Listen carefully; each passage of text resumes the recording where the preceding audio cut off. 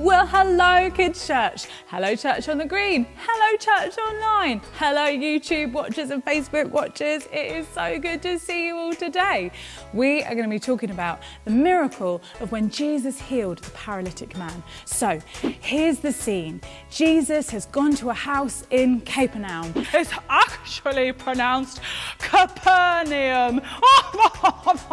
and he is teaching people and healing people. And there's a group of four friends, and they have heard about all the amazing things that this guy Jesus is doing. So they go and find their paralytic friend. Paralytic basically means that he couldn't walk. They find their friend, they pick him up, and they carry him to the house that Jesus is teaching in so that they can get their friend healed. Isn't that amazing? But when they arrive there, there are people everywhere. They are packed in so tight, they're like sardines. They definitely were not social distancing.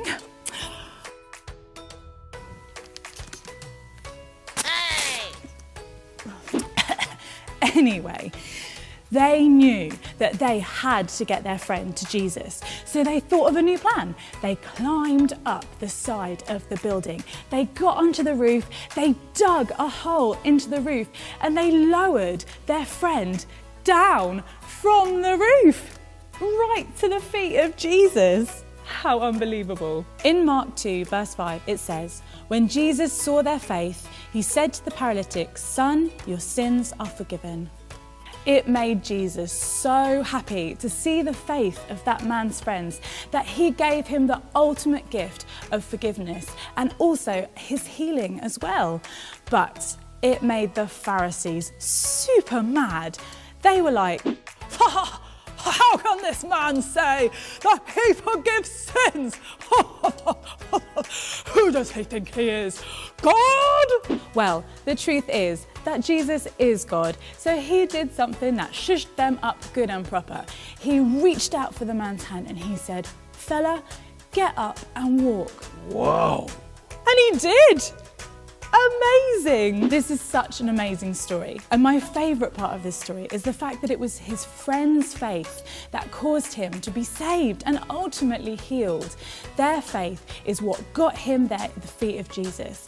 And for us, it's our faith that God sees. We could be inviting people into the church. We could be telling them about the amazing things that God is doing.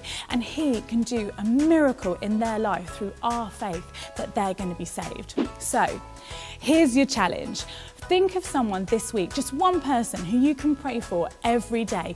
Pray that they meet with God, that they know about this amazing Father and what He's done for them. You can make them an invitation, invite them to Church on the Green, invite them to Boys Brigade, or send them a link to our YouTube channel. God sees you, he sees your faith and He has something amazing and miraculous for your friends and for your family. We love you, Kids Church. We love having this time with you, and we'll see you again next time. Bye!